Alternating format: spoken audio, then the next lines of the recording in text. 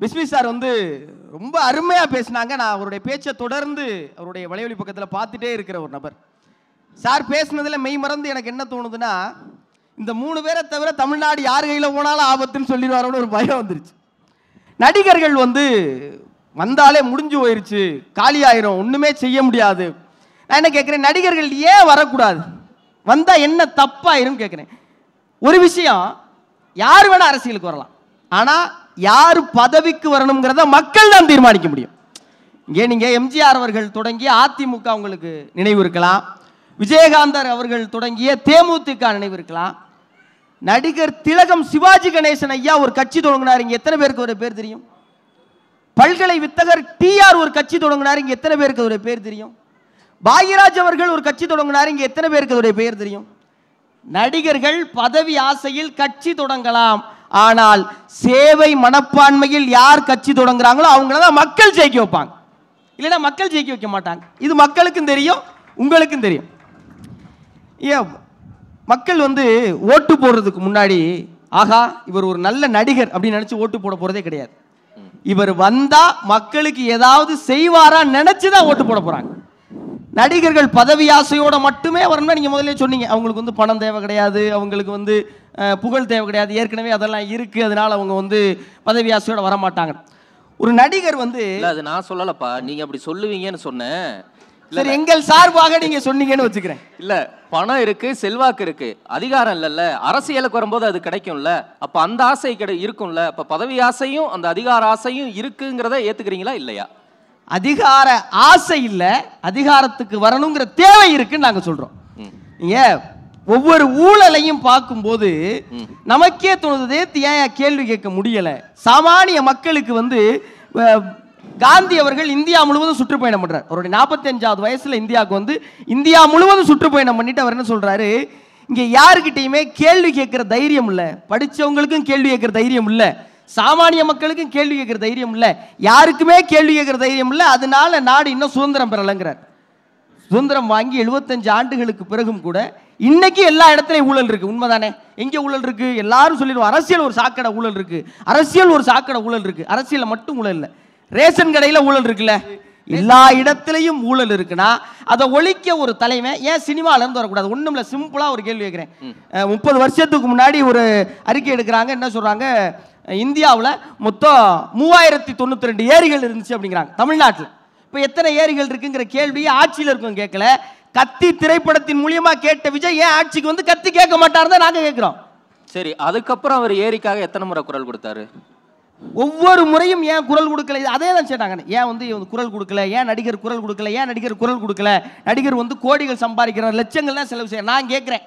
தன் சம்பாத்திய மொத்தத்தையும் மக்களுக்காக கொடுத்த பாலம் கல்யாணம் சுந்தரம் ஐயாவை நீங்க எந்த சட்டமன்ற உறுப்பினர் ஆக்குனீங்க எந்த நாடாளுமன்ற உறுப்பினர் ஆக்குனீங்க தன் வாழ்நாள் முழுவதையும் போராட்டத்துக்காகவே செலவழிச்ச டிராபிக் ராமசாமி ஐயாவை நீங்கள் எந்த சட்டமன்ற உறுப்பினர் எந்த நாடாளுமன்ற உறுப்பினர் நீங்கள் யாரும் செய்யலையே. அப்போ ஒரு மனுஷன் நீங்கள் ஒரு பிரச்சனைக்கு கேள்வி கேட்டால் ஏன் கேள்வி கேட்டார்? விளம்பரத்துக்காக கேள்வி கேட்டாருங்க. ஒரு பிரச்சனைக்கு கேள்வி கேட்கல ஏன் கேள்வி கேட்கலங்கிறீங்க? இப்போ நடிகர் விஜய் அவர்களை பற்றியே பேசுவோமே. அவர் அனிதா அவர்கள் பிரச்சனை வரப்போ அங்கே போய் பார்த்தாரு. தூத்துக்குடியில் பிரச்சனை வரப்போ பார்த்தாரு. விளம்பரத்துக்காக பண்ணிட்டார் விளம்பரத்துக்காக பண்ணிட்டாருன்னு பேசினாங்க. வேற ஒரு பிரச்சனைக்கு வராதவங்க வரவே மாட்டேங்கிறாங்க. அப்போ பேசினாலும் தப்பு பேசாட்டி இந்த தப்பு. ஒன்றும் இல்லை இப்போ இந்த பத்தாவது பன்னெண்டாவது பிள்ளைங்களுக்கு வந்து ஐயாயிரம் கொடுத்தது அட்வான்ஸ்னே வச்சுக்கிருவோமே. மொத்தம் எத்தனை? பத்தாவது பன்னெண்டாவது படித்த பிள்ளைங்க மூணு மதிப்பெண் வாங்கின பிள்ளைங்கள எடுத்துக்கிட்டாங்க. இரநூத்தி முப்பத்தி நாலு தொகுதி கணக்கு பண்ணி பார்த்தீங்கன்னா அவங்க அப்பா அம்மோட சத்தே மொத்தமே நாலாயிரத்தி உச்சம் பேர் தான். வெறும் நாலாயிரம் ஓட்டை வச்சு அவர் சிஎம் போகிறாரு வாய்ப்பே கிடையாது. நீங்கள் விஜய் அவர்கள் ஒரு கூட்டம் நடத்தி அங்கே எல்லா மாணவர்கள்ட்ட அரசியல் பேசிட்டாரு. பத்தாவது பன்னெண்டாவது பிள்ளைகள்கிட்ட போய் அரசியலை விதைச்சிட்டாரு. வேற யார்கிட்ட அங்கே அரசியல் பேசுறது. இன்னும் மூணு வருஷத்துல ஓட்டு உரிமை வாங்க போறவன்ட்ட அரசியல் பேசாம நாளைக்கு 75 வயசு ஆனவங்கள்ட்ட அரசியல் பேசுறது? நாலாயிரம் பேர் கொடுத்தாருல. அந்த நாலாயிரம் பேர் கொடுத்தாருங்கிறது எல்லா தொலைக்காட்சியில எல்லா வலையொலியில எல்லார்கிட்டையும் போய் சேர்ந்துச்சா இல்லையா? அப்போ அது நாலாயிரம் பேர் குறிக்கோளா?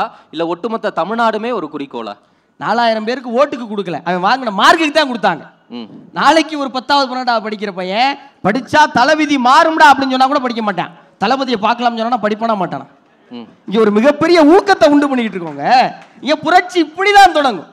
புதுசா ஒண்ணெல்லாம் பண்ண முடியாது. இங்க ஒரு இன்னைக்கு இருக்கிற இணையதள உலகத்துல நீங்க ஒரு நல்லா தெரிஞ்சுக்கோங்க. ஒரு புரட்சியை யார் முன்னெடுத்தா வெளிச்சம் கிடைக்கும்? ஒருவேளை ஒரு சாதாரண சாமானிய பெட்டி கடைக்காரர் இல்லை யாரோ ஒரு கூலி தொழிலாளி இல்லை ஒரு ஆட் யாரோ ஒரு பிரபலமான முகம் ஒரு புரட்சியை முன்னெடுத்தா அது மக்களுக்காக புரட்சியாக மாறுதா இல்லையா? இன்னைக்கு இருக்கிற இளைஞர்கள் நீங்கள் என்ன குற்றச்சாட்டு வைக்கிறீங்க? சினிமாக்காரன் முன்னாடி போறாரு சினிமாக்காரன் பின்னாடி போறாரு சினிமாக்காரன் அந்த சினிமாக்கார அரசியலுக்கு வந்தால் நல்லது தானங்க? அப்படியாவது இளைஞர்கள் அரசியலுக்கு வரட்டுமே. இன்னைக்கு இந்தியாங்கிற பிரம்மாண்ட நாடு உலகத்திலே முதல் மக்கள் தொகை நாடாக மாறிடுச்சு. நூற்றி நாற்பது கோடியை தாண்டி போயிட்டு இருக்கோம். இதில் அறுபத்தஞ்சு சதவீதம். அப்போ மிஞ்சி போனால் தொண்ணூறு கோடி பேர் இளைஞர்களா இருக்கும் அப்ப இந்த இளைஞர்கள் முன்னுதாரணமாக நடக்கிற சினிமாக்காரர்கள் அரசியலுக்கு வந்தா என்ன தப்புன்னு கேட்கிறேன் இல்ல திரைப்படத்துல மட்டும் அவங்க சமூக நீதி பேசுறாங்க பிரச்சனைகளுக்கு குரல் கொடுக்கறாங்க பாஷாவா மாதிரி அக்கிரமத்தை வந்து எதிர்த்து கேக்குறாங்க. ஆனா நிஜத்துல வந்து எதையுமே கண்டுக்காம பார்க்காம போயிடுறாங்கல்ல. வந்தாதான் ஐயோ அரசியலுக்கு ஆள் சேர்க்கிறா இருக்கிறீங்கல்ல சொன்னா என்ன? வந்தா நல்லதாங்கிறேன். சொன்னா என்ன? வந்தா நல்லது தானே கேட்கக்கூடிய தைரியம் இருக்கா இல்லையான்ற கேள்விதான் இவங்க ரொம்ப நாளா கேட்டுட்டு இருக்காங்க இப்ப ஆரம்பிச்சிட்டாங்கன்னு நான் சொல்றேன். ஒரு கட்சி தொடங்கி அதுக்கு வந்து ஆட்கள்லாம் சேர்த்து அதுக்கப்புறம் பிரச்சாரம் பண்ணினா உடனே அவர் வந்து சிஎம் ஆறதுக்கு அடி போட்டாரு ஆசைப்பட்டுட்டாரு அப்படின்னு வைக்கிற குற்றச்சாட்டை கடந்து ஒரு நடிகர் அவருக்கு தொழில் இருக்கு. இப்ப நீங்க சொன்ன மாதிரி ஃபர்ஸ்ட் டே ஃபர்ஸ்ட் ஷோக்கு வர்றாங்க பண்றாங்க எல்லா தொழிலையும் இங்க ஊழல் இருக்கு.